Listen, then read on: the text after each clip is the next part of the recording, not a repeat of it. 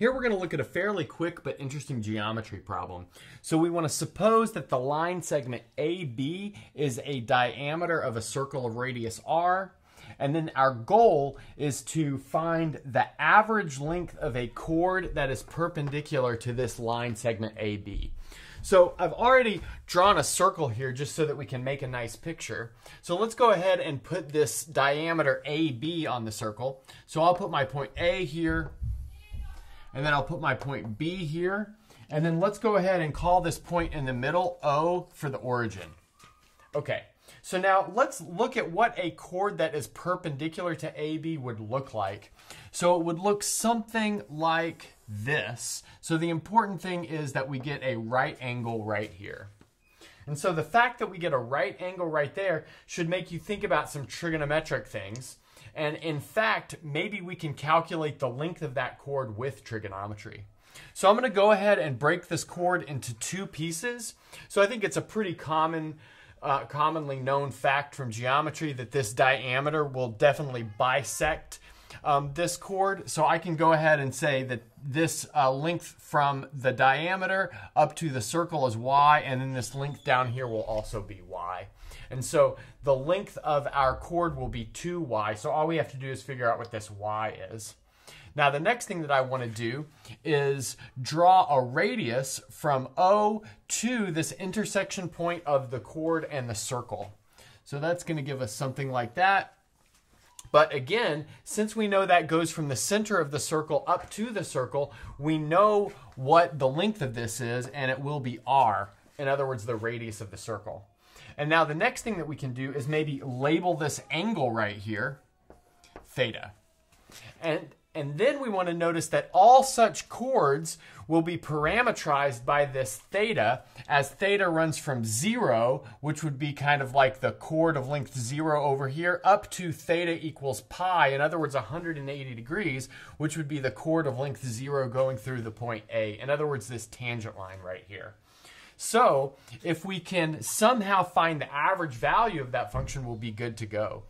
So now let's go ahead and write the length of this chord in terms of theta. So what we can notice is by trigonometry, we have sine of theta equals opposite over hypotenuse, so that's going to be y over r. So in other words, we have y, which is the unknown bit, equals r times sine theta. So the length of our chord is given by, maybe we'll, we'll call it L theta. And that's going to be 2 times y or 2 times r times sine theta. And then, just like we said before, we want to notice that all such chords can be described